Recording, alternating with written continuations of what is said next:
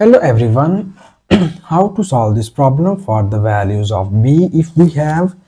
b divided by b plus b plus b is equals to b and we solve this problem for all the values of b.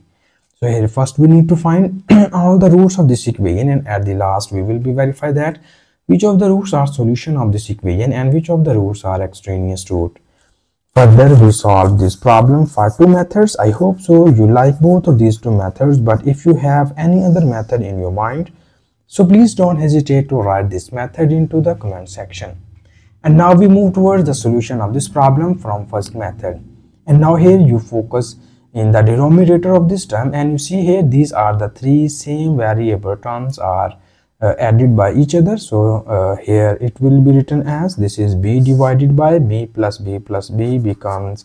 3 times of b is equals to b. And further in the next step here we need to move this 3b from left hand side to the right hand side. And it is divided by left hand side. When we move it into the right hand side it is multiplied by b. And it will becomes here b is equals to b multiplied by 3 times of b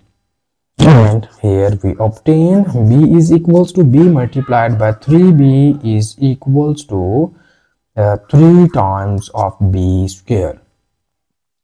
And here in the next step we need to move this b from left hand side to the right hand side and it will be written as 3b square minus b is equals to 0 and now further you see here this b is lies on both of these two terms and now we need to take common b from here and when we take common b, we get the remaining values are from here we get 3b minus from here we get 1 only and this whole equation is equal to 0.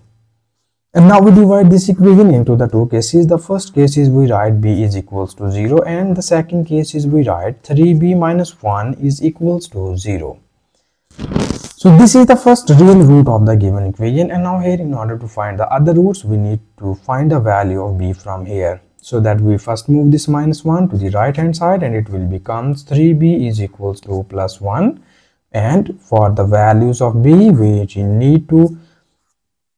remove this 3 from left hand side for this we divide both of the sides by 3 so this 3 and this 3 are cancelled out by each other and we will get here b is equals to 1 over 3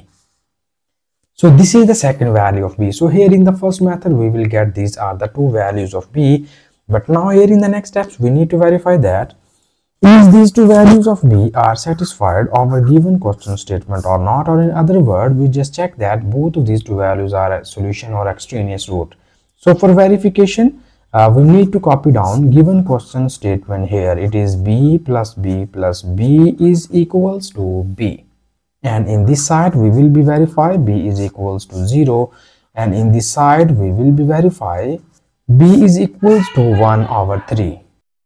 so here uh, when we substitute b equals to 0 uh, on both of the sides it will be written as this is 0 divided by 0 plus 0 plus 0 equals to 0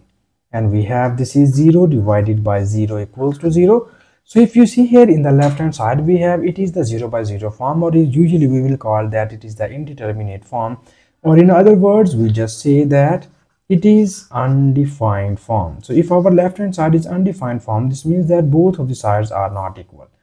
So if both of the sides are not equal this means that b equals to 0 is not satisfied over this given equation. Uh, so if this is not satisfied over given equation it means that b equals to 0 be the extraneous root of the given equation. Okay? So this is the extraneous root because it does not satisfy our given question statement and here when we put b equals to 1 over 3 on both of the sides it will be written as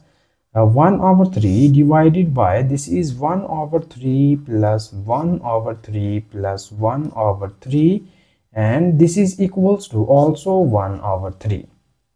so here uh, we just focus into the denominator term and it will be written as 1 over 3 divided by here uh, 1 over 3 is added by 3 times. It will be written as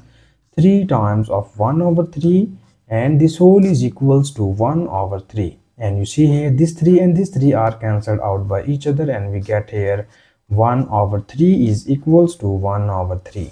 so here uh, you see that both of the sides are equal. It means that the value of b is equals to 1 over 3 is satisfied our given question statement.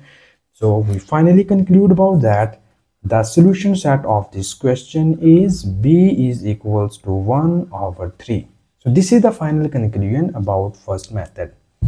And now here uh, we again solve this problem for second method. And in second method uh, we just need to copy down given question statement here. And the given question statement is b divided by b plus b plus b is equals to b and here uh, in this method i can just give i, I can just uh, find a quickest way to get the roots of this equation. So here first you need to focus into the denominator term and we have b is added by three times. It will becomes three times of b is equals to b. So this b and this b are cancelled out by each other and we easily get the value of b is equals to 1 over 3 so in the second method we will get only one value of b that is 1 over 3 and in the first method we already verified that this value of b is satisfied our given question statement it means that the solution set of this question is 1 over 3 so this is our final answer of this question and thank you so much for watching this video. Please subscribe to my channel for more exciting videos